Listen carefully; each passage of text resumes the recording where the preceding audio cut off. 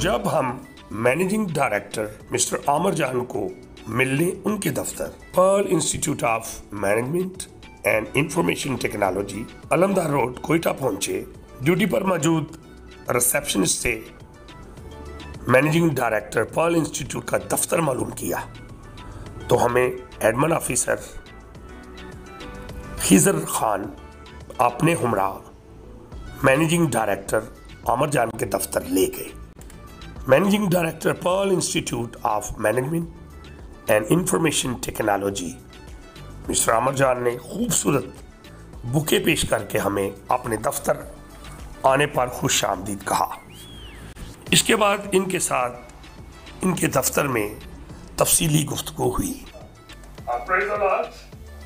Uh, we are in Balochistan, and it's great, great pleasure and honor for me. Today we are uh, talking uh, with uh, Mr. Amir John, who is MD, Pearl Institute of Management and Information Technology. So he's a young man, and we appreciate you you are doing a great job. So first of all, I would like to ask you, please tell your uh, skills, initial education systems and higher education. Thank you very much, Pastor uh, Samuel Coker Saab. First of all, I would like to thank you, your entire team of Isaac TV, that you have taken a great initiative, Ek Din Isaac TV ke. So I warmly welcome you uh, on the behalf of Balochistan and uh, on the uh, behalf of our entire team of Pearl Institute of Management and Information Technology. I would like to introduce myself. My name is Amir John, and uh, I'm the Managing Director of Pearl Institute of Management and Information Technology. And uh, I'm serving in the field of education since 1999. And uh, I'm the also a board member of National Vocational Technical Training Commission, uh, which is exist in uh, Islamabad, Prime Minister Secretariat. I'm representing the uh, Balochistan chapter, and uh, this is the honor. Uh, I'm the only Christian who is representing on the national level. Uh, further, I'm the regional director of Pakistan uh, Christian Council International. Uh, I have also blessed being the director of Pakistan Zindabad organization. I'm thankful to the Lord. He has given me the ability to facilitate our Christian community in education sector and uh, sometimes I do poetry as well. I'm social worker, and uh, when God give me a message, I deliver the message uh, of the gospel as well. So I warmly welcome you in our institute from That's the core great. of our heart. We also uh, welcome you because you are a young leader and uh, God gave you talent and many skills. So would you like to tell us uh, how many branches uh, uh, uh, Institute of Management in Balochistan? Yeah, why not? Uh, Pastor Samuel, basically we are the pioneer of IT Institute in Balochistan and uh, we are not uh, limited only in Balochistan. Uh, basically we have the uh, two branches in Balochistan, one setup we have in Afghanistan and uh, by the grace of our Lord we have one setup in UK as well and uh, we are the pioneer of IT sector and the Pearl Institute of Management and Information Technology is the one what we can say is the one uh, pioneer institute of IT and management skill institute. That's great. So God gave you uh, many uh, talent. So you are also uh, religious. Uh, you have skills. Uh, you are act, uh, social activists also. So now we want to talk uh, in Urdu. Definitely, definitely, because Urdu is our national language and we feel proud to speak Urdu. Uh, so I would like to share uh, in Urdu what I have and how can I achieve the goal and how the Lord shower His blessing upon me and my family and uh, my community through me. I would like to share in Urdu as well. Yeah, because uh, uh, you are uh, involved in the education system. So many people watch our program yes. in TV KSR. So in future, uh, we are also pray, um, thankful Pastor Anwar Fardal is also promote us in different international countries. Uh, by the way, of in this year, uh, we invite many uh, other countries of the world So आपसे अब मेरा ये सवाल है कि खुदा ने आपको बहुत ही खूबसूरत पर्सनैलिटी दी और एक यंग लीडरशिप है और एजुकेशन स्किल्स भी हैं और आप कौन का भी दर्द रखते हैं? और मैंने अभी आपकी कुछ जो हिस्ट्री है उसके बारे में भी दोस्तों ने बताया कि आप जब भी कोई पाकिस्तान के अंदर इंसिडेंट होता है, आप हमारे क्रिश्चियन कम्युनिटी के साथ, जैसा कि कराची में पिछले चंद माह पहले लास्ट ईयर तो वहाँ बहुत बड़ा इशू बना और बड़े क्रिश्चियंस लोगों ने इस पर स्ट्रांगली कंटेंट भी किया। तो आपकी भी मैंने अचीवमेंट्स देखी, आपके भी जो खुदावन ने आपको एक कौम का दल दिया हुआ है तो उसके बारे में आप क्या कहेंगे? मैंने जितने भी आपको फ़र्स्ट सेवन अपने इंट्रोडक्शन करवाए हैं, उन सबसे जो खूबसूरत इंट्रोडक्शन है मेरा, वो ये है कि मैं मसीह और मैं आप में से एक हूँ। और मैं मसीह हूँ और इस हवाले से जो मेरी मसीह कम्युनिटी है, आज मैं जो कुछ भी हूँ, मैं उनकी दुआओं के फजल से हूँ। और सबसे पहले तो ये है कि आपके चैनल के तवसत से मैं पास्टर अनवर फजल का शुक्रिया अदा करना चाहूँगा कि उन्होंने एक बहुत बड़ा इनिशिएटिव लिया है अपनी क्रिश्चियन कम्युनिटी के लिए और उनकी जितनी भी खिदमत है, वो किसी से ढकी छुपी नहीं है। तो आपके टीवी के टीवी चैनल के तवसत से मैं पास्टर अनवर फजल को बहुत बहुत मुबारकबाद पेश करना चाहूँगा इस नए चैप्टर के लिए एक दिन आइजिक टीवी के साथ और उसके साथ साथ बलूचिस्तान कम्युनिटी के बिहाफ पर मैं उनकी सारी एफर्ट्स के लिए उन्हें खराज तहसीन और उन्हें सैल्यूट पेश करता हूँ कि जब भी हमारी क्रिश्चियन कम्युनिटी के साथ कोई भी ऐसा इंसिडेंस होता है तो उनकी खिदमत जो है वो ग्रां कदर है। हमने हर वक्त, हर मौके पर उन्हें वहाँ मौजूद पाया है और उन्हीं की इन काविशों की वजह से हम भी इनर्जेटिक होते हैं। हमें एनर्जी मिलती है और हम में भी ये हौसला पैदा होता है कि हम भी आगे बढ़ें और अपनी क्रिश्चियन कम्युनिटी की आवाज़ बने। और जिस प्लेटफॉर्म पर भी हमें मौका मिलता है, हमारी जो स्पेशली यूथ है, हम उनको प्रमोट भी करते हैं, उनके हक के लिए आवाज़ भी उठाते हैं और हमारी कोशिश ये रहती है कि हमारी यूथ जो है फुल ऑफ़ टैलेंट है। जिस तरीके से बलूचिस्तान के पहाड़ जो है वो मादनियात से भरे हुए हैं। इसी तरह हमारे जो बलूचिस्तान के नौजवान हैं, वो फुल ऑफ़ टैलेंट है इन्हें सिर्फ़ पॉलिश की ज़रूरत है। इन्हें उन हाथों की ज़रूरत है जिन हाथों में ये जाएँ और वो हाथ इनको निखार दें। तो पास्टर अनवर फजल जो है, वो नेशनल और इंटरनेशनल लेवल पर इस तरीके से काम कर रहे हैं। हम अपनी बसात के मुताबिक जो है प्रोविंशियल लेवल पर इस तरीके से काम कर रहे हैं। और मेरे लिए बड़े एजाज़ की बात है कि मैं सिर्फ़ ना प्रोविंशियल लेवल बल्कि नेशनल लेवल पर काम कर रहा हूँ इस हवाले से। और इसी दर्द को हम लेकर आगे बढ़ रहे हैं। और ये एक कारवां ऐसा शुरू हुआ है जिसमें हम ख्याल लोग हमारे साथ मिलते जा रहे हैं और हम मिलकर अपने लोगों की खिदमत भाई आपने पास्टर फजल साहब की बात की है तो मैं आपकी बात को सेकंड करता हूँ कि पास्टर फजल साहब इस वक्त एक ब्रांड है एक ब्रांड का नाम है फजल और वो आप देख रहे हैं तो कौम का इतना दर्द रखते हैं कि मुख्तलिफ़ वो लोगों के लिए वो ना सिर्फ़ दुआ करते हैं बल्कि उनके लिए वो मददगार भी साबित होते हैं।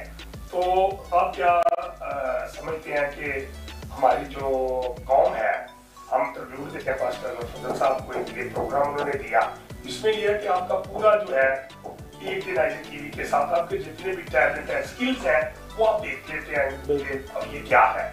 अगला जो मेरा सवाल है आपकी मैं बात को कंटिन्यू रखूँगा कि आप जो यूथ लीडरशिप है, आपने अभी कहा बड़े टैलेंटेड हैं बलोचिस्तान में यू अप्रिशिएट लेकिन हमारे पंजाब में हम देखते हैं कि वहाँ हमारे जो यूथ है, वो एजुकेशन सिस्टम में बहुत कम है। बहुत सारे ऐसे बच्चे हैं जो हमारा गर्द है बहुत सारे ऐसे बच्चे हैं जिनके पेरेंट्स अच्छी जॉब पर हैं लेकिन वो अपने कॉलेज या स्कूल जो है वो उनका जो है वो, अपना दिलचस्पी नहीं रखते।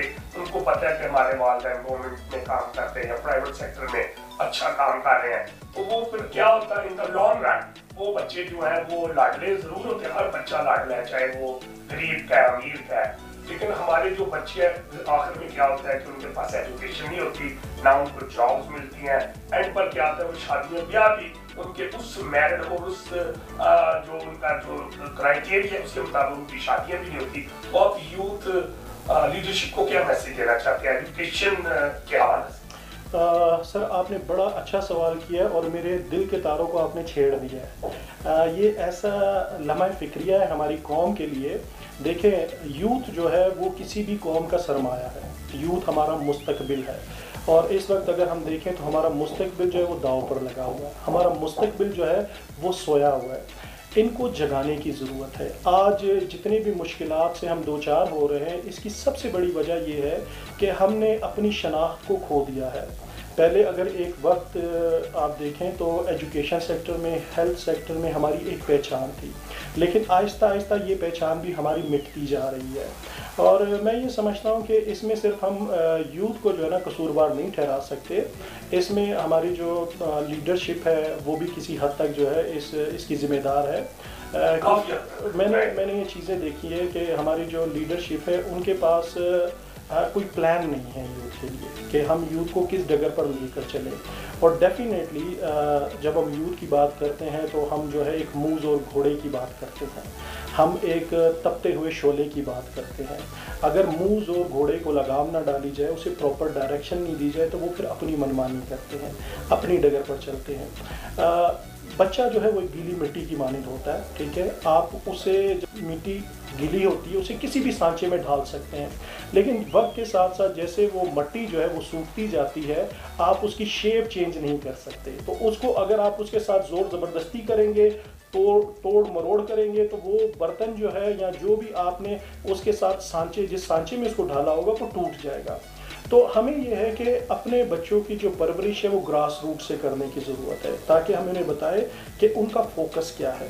बेसिकली इस वक्त जो हमारी इस वक्त जो अशद ज़रूरत है वो एजुकेशन है। एजुकेशन के लिए आप देखें आपको बहुत सारे मकालमात मिलते हैं ठीक है? हम उसे सक्सेस ऑफ़ की भी कहते हैं ठीक है? हम ये कहते हैं कि एजुकेशन जो है it's not a race it's a journey ठीक है? और डेफिनेटली इट्स अ जर्नी ये एक ऐसा सफ़र है जो सारी ज़िंदगी ख़त्म नहीं होता। ये ख़त्म नहीं होता। हम किसी भी एज में चले जाएँ हम तालब इम हैं। और ये एक ऐसा सफ़र है कि जिसके हर मोड़ पर जो है ना अगर आप सही तरीके से इस सफ़र को जो है अपनी मंजिल की तरफ़ गामजन करते हैं तो हर मोड़ पर ये आपको अचीवमेंट्स देती है और कामयाबी आपके कदम चूमती है। और फिर वो कामयाबी ना सिर्फ़ हमारे कदम चूमती है, बल्कि हमें ये जिस तरीके से बाइबल मुकदस में लिखा है कि तुम नूर की मानंद हो तुम नमक की मानंद हो ठीक है?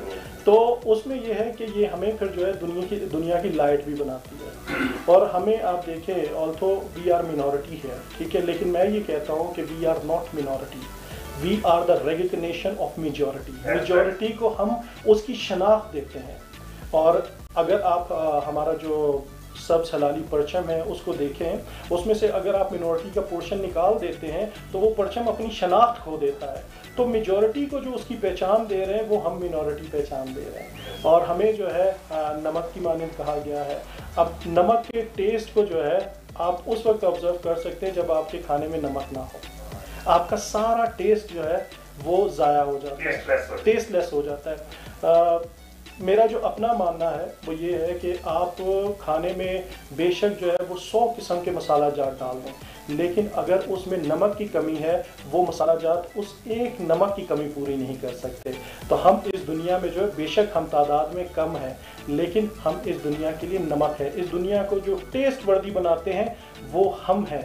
तो हमें अपनी शनाख्त जो है वो पहचान करने की ज़रूरत है। हम बेसिकली अपनी जो पहचान है, अपनी जो शनाख्त है, वो हम खोज सर, बहुत ही खूबसूरत बात आप कर रहे हैं। और आपकी बात से मुझे याद है, जैसे आपने ये स्कूल सिस्टम्स का बताया और पाकिस्तान के अंदर क्रिश्चियंस जो हैं, इनका बड़ा एक्टिव रोल है एजुकेशन सिस्टम में और हेल्थ में भी।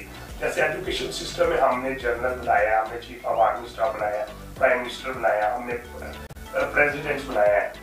और देखिए क्या हम अगर बना सकते हैं तो क्या हमारी कम्युनिटी क्रिश्चियन कम्युनिटी ये नहीं बन सकती कि सब कुछ हो सकता है। लेकिन इसको मैं ज़रूर कहूँगा कि ये लैक ऑफ़ लीडरशिप है। ठीक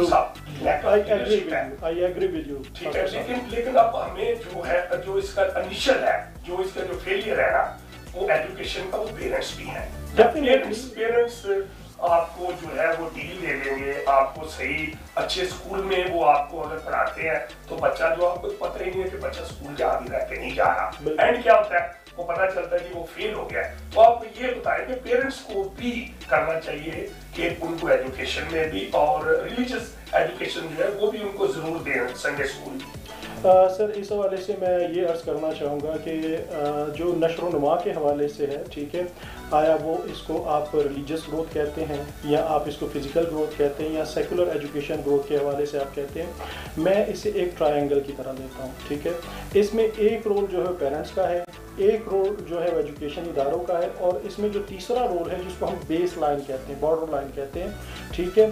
वो जो ज़िम्मेदारी है वो वो स्टूडेंट की अपनी और रिलीजियस जो है ना रिलीजियस हमारी एक्टिविटीज़ हैं। अब उसमें यह है कि अगर तीनों में से कोई चीज़ भी लैक करती है कम होती है कमी पेशी आती तो ये ट्रायंगल कंप्लीट नहीं होता। फिर उस, उसका नुकसान जो होता है वो ये है कि इसका वक्ती तौर पर नुकसान नहीं होता, ये लॉन्ग टर्म जो है ना, इसके साइड इफ़ेक्ट्स हैं। और ये फिर अब हम इन लॉन्ग टर्म साइड इफ़ेक्ट्स को फेस कर रहे हैं। हम देख रहे हैं कि हमारी जो इस वक्त यंग जनरेशन है, वो किस तरीके से तबाही के दौर पर जो है वो रमा दमा है। आईटी का दौर भी है अब अब अब देखेंगे टेक्नोलॉजी का दौर है और ये एडवांसमेंट का दौर है लेकिन being an IT institute head मुझे ये बात बड़े अफसोस के साथ कहनी पड़ती है कि जैसे मैंने आपसे कहा कि मैं national vocational technical training commission का बोर्ड मेंबर हूँ और उसमें ये है कि ये गवर्नमेंट ऑफ़ पाकिस्तान का एक बहुत बड़ा इनिशिएटिव है। आ, वो लोग जो एजुकेशन को अफोर्ड नहीं कर सकते। उनके लिए फ्री ऑफ़ कॉस्ट ट्रेनिंग्स भी प्रोवाइड की जाती हैं और उनको ये टेक्निकल स्किल्स भी प्रोवाइड की जाती हैं और उनको जॉब अपॉर्चुनिटीज़ भी प्रोवाइड की जाती हैं। जब ये प्रोग्राम्स अनाउंस होते हैं कुड यू बिलीव पास्टर साहब, हम अपनी कम्युनिटी को, अपने पास्टर साहिबान को अप्रोच करते हैं कि आप यूथ को इनक्रेज करें यूथ को मोटिवेट करें कि वो इस तरह की अपॉर्चुनिटीज़ से फ़ायदा उठाएँ।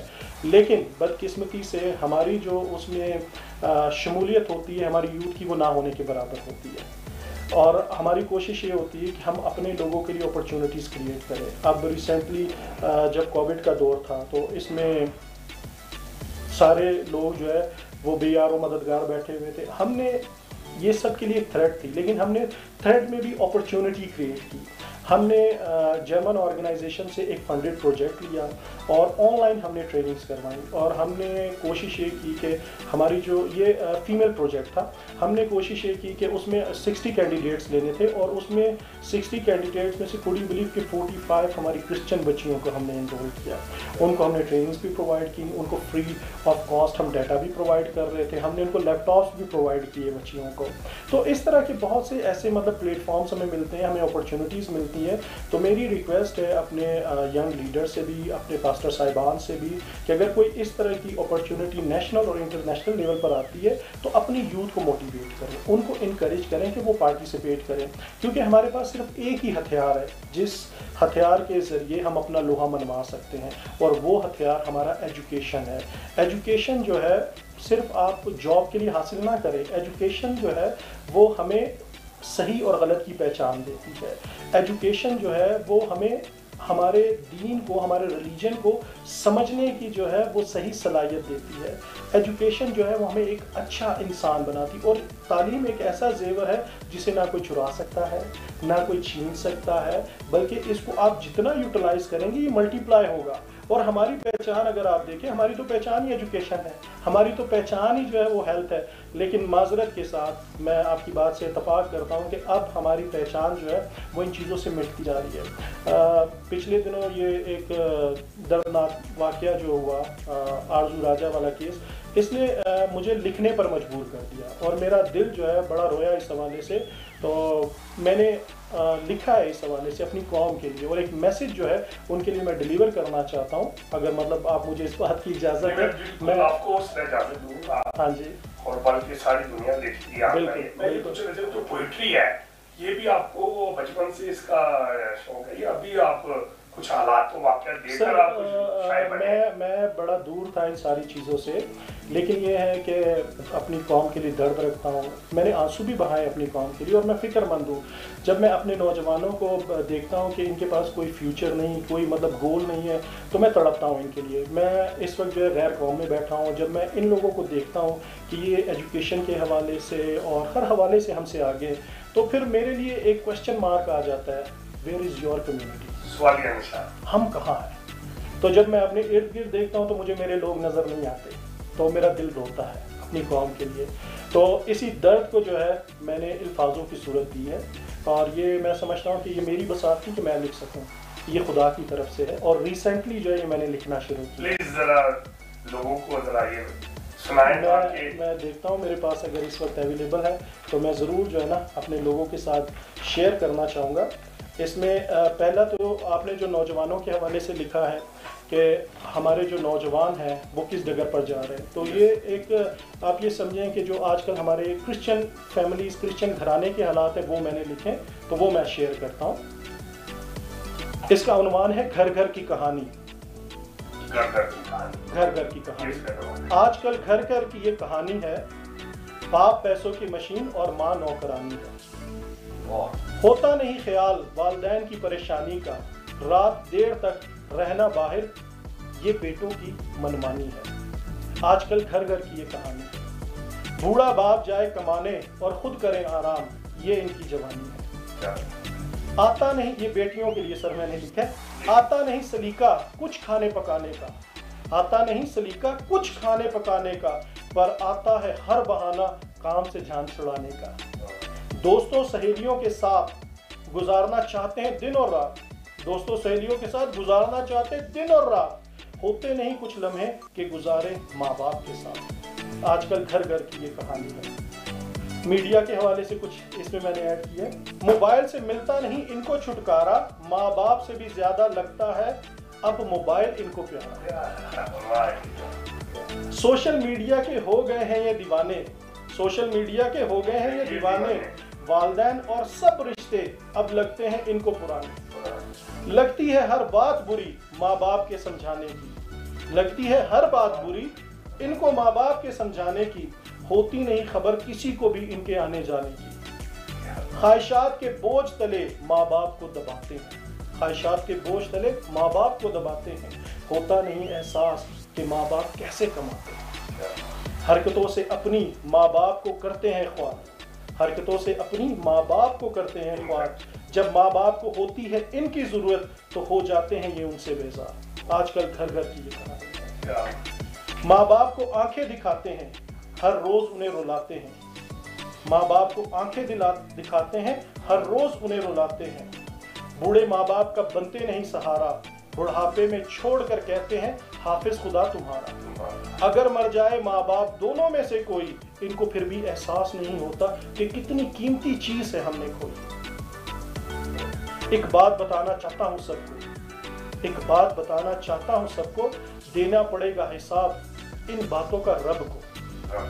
वक्त खुद को ज़रूर दोहराएगा, वक्त खुद को ज़रूर दोहराएगा और तुम्हारे वालदेन की जगह तुमको लाएगा। इस बात का तुम ज़रूर रखना ख्याल जनाब बोगे कांटे तो कभी नहीं काट पाओगे गुलाब कुछ भी ना रहेगा उस वक्त तुम्हारे साथ। फिर ज़िंदगी गुजारोगे पछतावे के साथ। जब खुदा के कलाम की दूरी होती है तो फिर ये सारी चीज़ें होती हैं। इस हवाले से भी मैंने इसमें ऐड किया है। खुदा का कलाम भी बताता है करेगा जो माँ बाप की इज़्ज़त और खिदमत वही सुख पाता है। आजकल घर घर की ये कहानी। तो ये सर आज के जो हालात हैं उनके हवाले से मैंने लिखा है। ताकि ये है कि मतलब आप देखें हर घर हर फैमिली में ये इश्यूज़ आ रहे हैं। तो एक छोटा सा ख्याल था जो खुदा की तरफ़ से मुझे मिला था वो मैंने लिखा है इसमें। मिस्टर आमिर जॉन साहब बहुत ही आपके अंदर खुदावन ने बड़े स्किल्स डाले हैं और बहुत टैलेंटेड हैं। और नौजवान आपने जो लीडरशिप उसका भी आप ध्यान रखते हैं। तो आपने बहुत अच्छी अभी जो गज़ल आपने बड़ी अच्छी नज़म पेश की है। सो so, रियली really मुझे बड़ा उसके जो जितने भी आपने उसकी तरतीब बनाई है, जो शायरी है, वो यकीनन वो रियलिटी पर मबनी है। और एक एक जो शेर है, वो बड़ा आउटस्टैंडिंग है। तो और भी आपको ऐसी नौजवानों के लिए इंसिडेंट भी होते रहते हैं। उनके लिए कुछ एक ऐसा लेसन कि वो आपकी कुछ ऐसी सुन के आपकी नज़म कोई वो इस पर अमल करना शुरू कर दे तो है पास्टर साहब जब आरज़ू राजा का केस हुआ तो आप यकीन माने मैं बहुत ज़्यादा डिस्टर्ब हुआ इस हवाले से। और जब हमने नज़र दोहराई अपने इर्द गिर्द के माहौल में तो ये कोई एक ऐसा अनोखा केस नहीं था। ये तो केस मीडिया ने हाईलाइट कर दिया तो सामने आ गया। इस तरह के और बहुत सारे केसेस हैं, जिनको ये है कि हम रोज़ाना की बेसिस में देखते हैं। बहुत सारी हमारी बच्चियाँ हैं जो हमसे छिन रही हैं और हमारी आँखों के सामने उनकी तजलील हो रही है। पिछले दिनों एक वो आ, कमर वाला केस हुआ था वो जो सूद खबरों में फंसा हुआ था। तो इन सारी चीज़ों को मैंने देखते हुए फिर मैंने जो है अपनी मसीह कौम के लिए एक पैगाम लिखा है। और मेरे लिए एक खुशी की बात है और एजाज़ की भी बात है कि आज आपके चैनल के तवसत से मैं इस पैगाम को जो है मैं शेयर कर सकूँगा। तो मेरी आपसे रिक्वेस्ट होगी कि ये आप ज़रूर जो है इसे ऑन एयर कीजिएगा। ये ये वो पैगाम है जो मेरी क्रिश्चियन कम्युनिटी के लिए है। और ये मेरे दिल की आवाज़ है। जो मैं शेयर करना चाहूँगा मैं ज़रूर आपके साथ शेयर करता हूँ इसको। अच्छा। लिखा मैंने कुछ इस तरीके से है जाग मसीही जाग। जाग मसीही जाग। कब तक यूँ ही सोता रहेगा? खुद पे होने वाले जुल्म सितम पे रोता रहेगा। तेरी आँखों के सामने तेरी बेटियों को छीना जा रहा है। हर रोज जुल्मत का एक नया किस्सा सामने आ रहा है। बेबसी की तू कैसी लिख रहा है दास्तान? लाचारी का क्यों बन गया है तू सामान? कब खुलेगी अपने हक के लिए तेरी ज़ुबान? जाग मसीह कहीं तू कटता है, कहीं तू पिटता है, कहीं तू होता है रुसवा बरे जहाँ ऐवानों में चुप है, घरानों में चुप है है गिरजों में चुप, क्यों तेरी ज़ुबान? खोल के मुँह अपना कहीं तो बयान कर अपनी दास्तान। जाग मसीह तेरी ख्वाहिशात तुझे रोज बरोज दबाए जा रही हैं।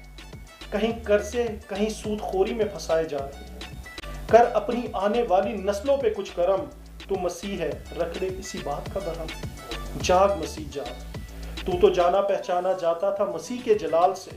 तू तो जाना पहचाना जाता था मसीह के जलाल से।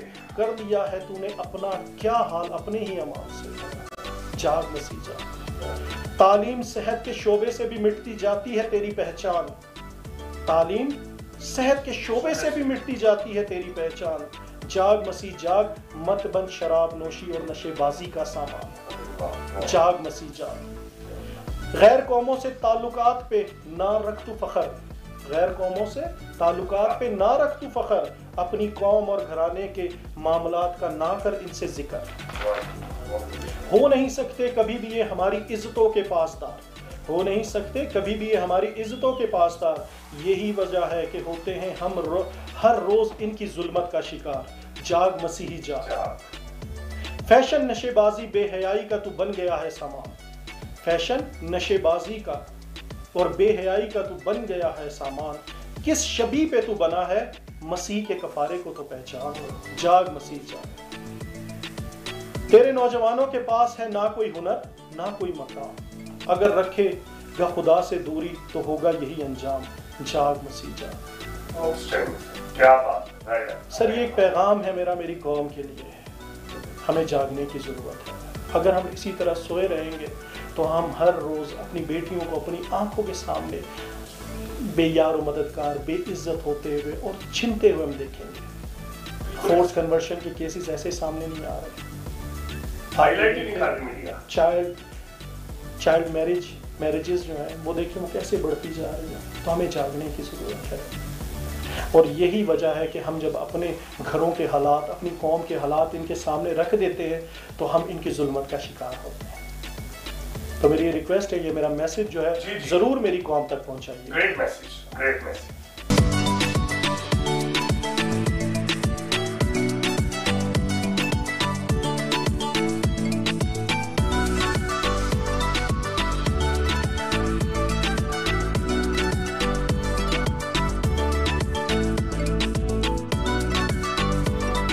managing director Pearl institute mister Amer Jan का एक्सरसाइज का टाइम हो चुका था। वो हमें अपने साथ फिटनेस फ़र्स्ट जिम ले गए, जहाँ उन्होंने कुछ वक्त एक्सरसाइज की।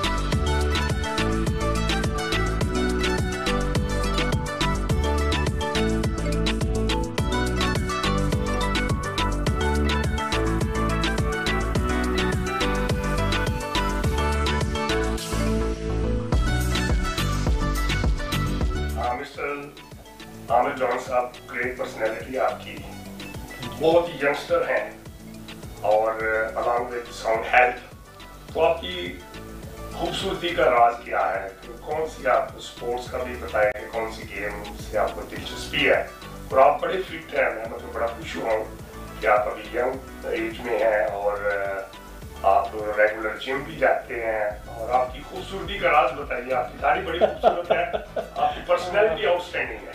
पास्टर साहब एक बार फिर आपका बहुत बहुत शुक्रिया। आपने तारीफों के पुल बाँध रखे नो ये रियलिटी है ये it's not a buttering not a flattery ये मैं आपको रियलिटी बता रहा हूँ। खुदा ने आपको ब्लेसिंग दी है ब्लेसिंग्स के हवाले से, जैसे मैंने आपको पहले बताया कि अगर मैं ब्लेसिंग्स को गिनवाना शुरू करूँ तो सुबह से शाम हो जाएगी। और मैं समझता हूँ कि ये खुदा का एक ख़ास हाथ है मुझ पर। उसकी नज़र करम है कि हर हवाले से खुदा ने मुझे ब्लेस किया हुआ है। और जहाँ तक ये है कि खूबसूरती तो ये खुदा की देन है, ठीक है?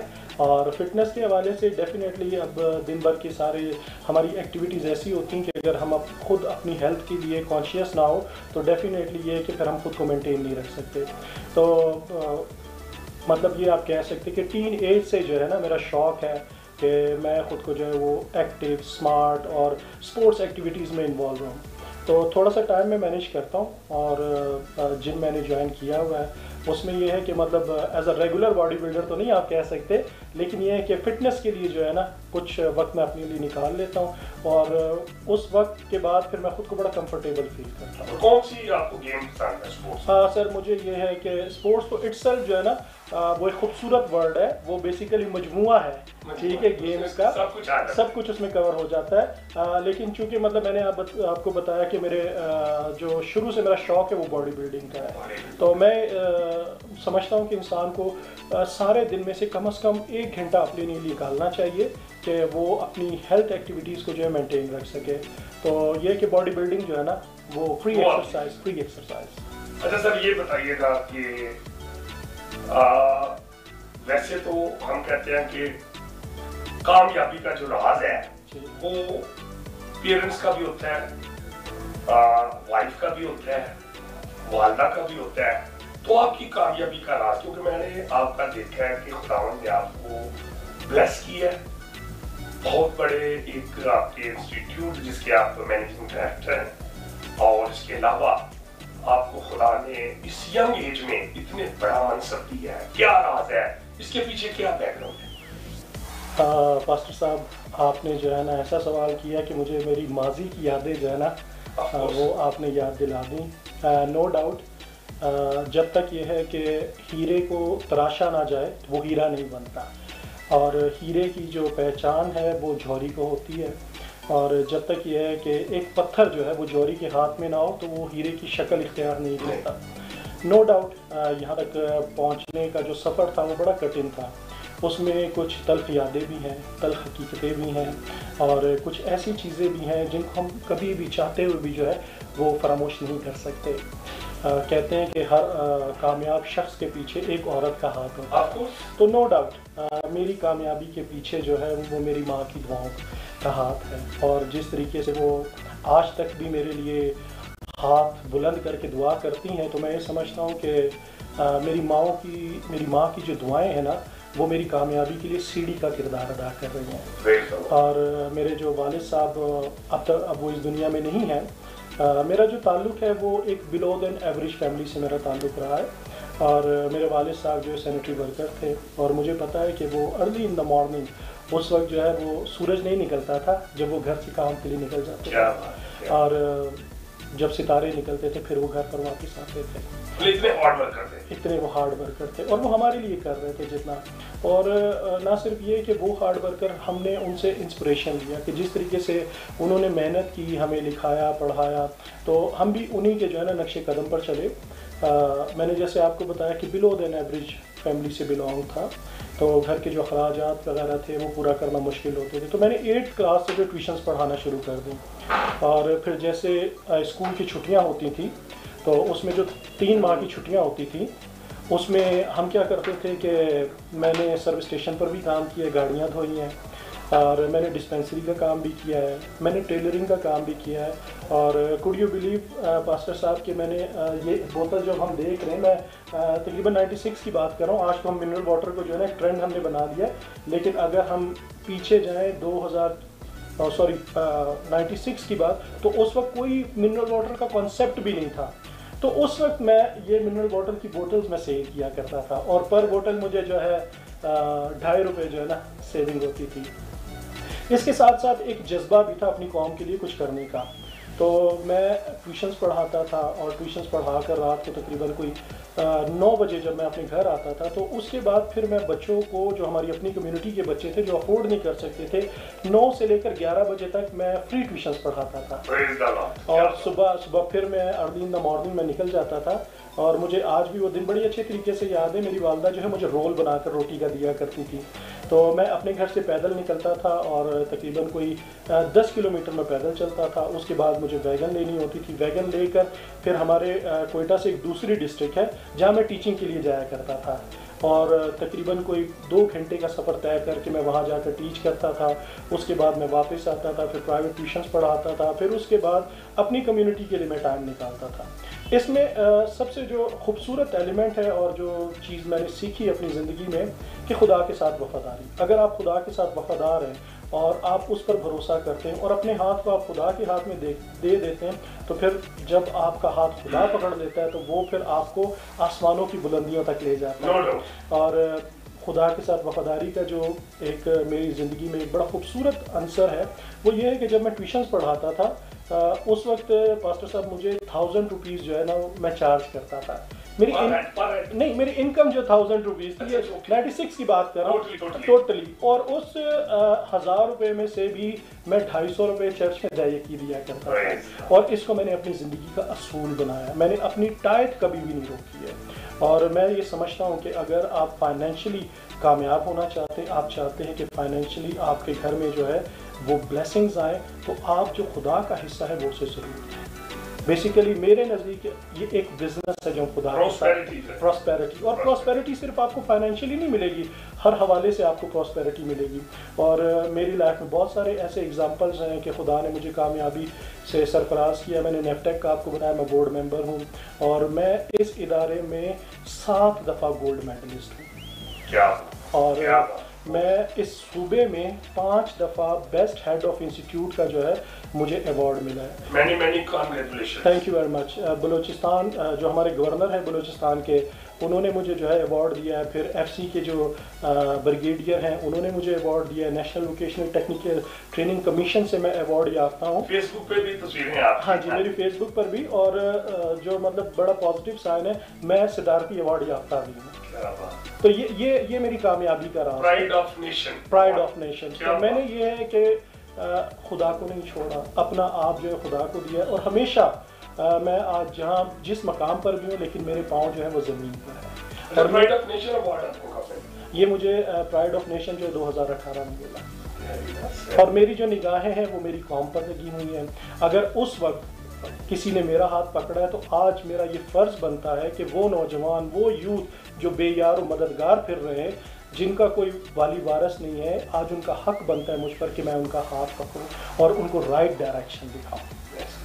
मैं अपने नौजवान जो क्रिश्चियन क्यादत है, जो उनको ये बड़ा ही पॉजिटिव मैसेज अमित जॉन साहब ने दिया कि उनके वालद साहब इतने मेहनती थे और इतनी मेहनत करके वो अर्ली इन द मॉर्निंग वो निकलते थे और रात को जब अंधेरा होता था, वो घर आते थे अपने बच्चों के रोज़गार के लिए। तो आज के नौजवानों को मैं देख रहा हूँ कि वो अपने माँ बाप का जो जो उनकी मतलब एफर्ट्स हैं, उनको भी वो जो है वो इग्नोर करते हैं। तो मैं समझता हूँ कि आप इनकी जो बातें हैं, कि अपना बैकग्राउंड कभी नहीं भूलना चाहिए। और मैं समझता हूँ आज जो इनको ब्लेसिंग मिली है, कि बहुत बड़ी अचीवमेंट्स है, इतने इतने बड़े अवार्ड्स मिले हैं। और मैं समझता हूँ कि वी प्राउड कि इनको खुदा ने बहुत ब्लेसिंग दी है। तो आप भी ऐसा कर सकते हैं। अगर आपके वालदेन मेहनत मजदूरी कर रहे हैं, आपको पढ़ा रहे हैं तो आप यकीनन पढ़े और बड़े होकर अपने माँ बाप का पैसा जाया ना करें बल्कि बड़े बड़े उहदों पर जाए। थैंक यू वेरी मच इसके बाद वो हमें Pearl institute of management and information technology की ऑफिशियल गाड़ी पर मिलीनियम माल की तरफ़ ले गए। इनके साथ कुछ बातचीत रास्ते में की। अमर जॉन साहब बलूचिस्तान के जो मशहूर जो प्लेसेस हैं या हिस्टोरिकल चीज़ें हैं उनके बारे में आप बताना पसंद करें। सर बलूचिस्तान जो है वो इट्स जो है आ, वो इंतहाई खूबसूरत और मेहमान नवाज़ इलाका है। और जब लोग बलूचिस्तान में आते हैं तो बलूचिस्तान उन पर जो है अपनी यादों की एक छाप छोड़ देता है। और अगर हम बलूचिस्तान की रिवायत के हवाले से बात करें तो यहाँ के लोग जो है नहायत मेहमान नवाज़ लोग हैं। और इसके अलावा बलूचिस्तान की जो ट्रेडिशनल डिशेस हैं वो पूरे पाकिस्तान में जो है मशहूर हैं। और मैं ये समझता हूँ कि जो हमारे विज़िटर्स होते हैं, जब वो आते हैं तो वो बलूचिस्तान की जो यादें हैं, वो उन्हें कभी भी जो है बुला नहीं सकते। और स्पेशली मैं बात करूँगा बलूचिस्तान के जो मसीहों के हवाले से दे आर वेरी स्ट्रॉन्ग और खुदा के फजल से इस वक्त अच्छे अहदों पर बैठे हुए हैं और खुदा ने उन्हें बड़ी बरकत दी है। जी जी। और वो फिर ये है कि अपनी कम्युनिटी के साथ सिंसियर भी हैं। यूनिटी आपको यहाँ बहुत ज़्यादा नज़र आएगी लोगों में।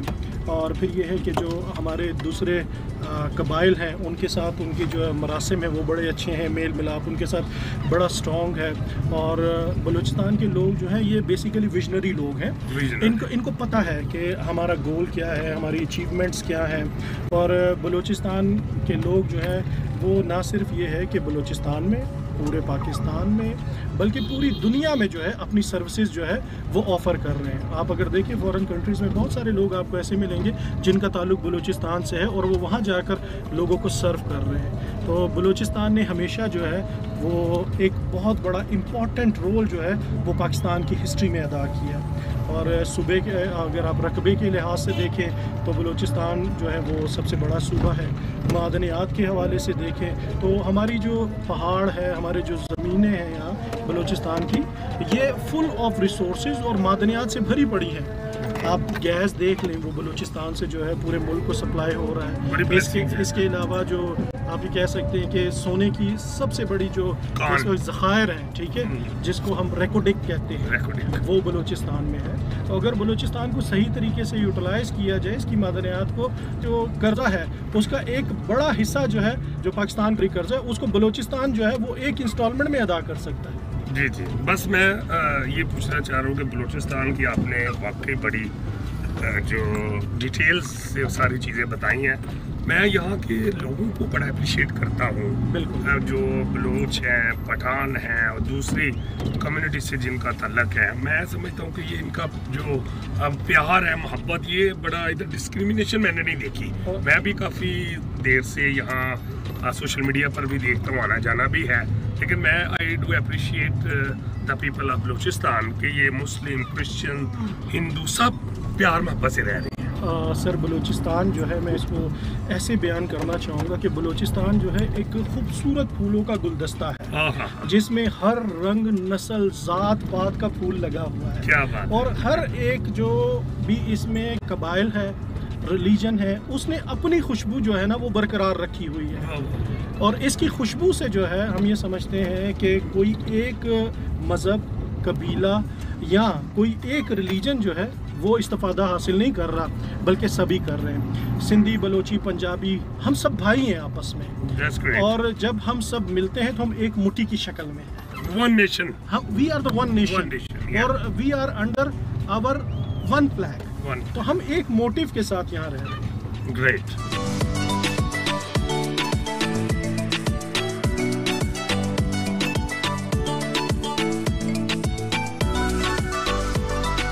इतनी देर में हम मेलेनियम मॉल के F C fast food point पहुँच गए जहाँ पर हमने एडमन ऑफिसर खिजर खान और managing director Pearl institute mister Amer Jan के साथ मिलकर फास्ट फ़ूड खाकर खूब लुत्फानंदोज हुए इसके बाद managing director Pearl institute mister Amer Jan ने हमें बड़ी इज़्ज़त और एहतराम से रुखसत किया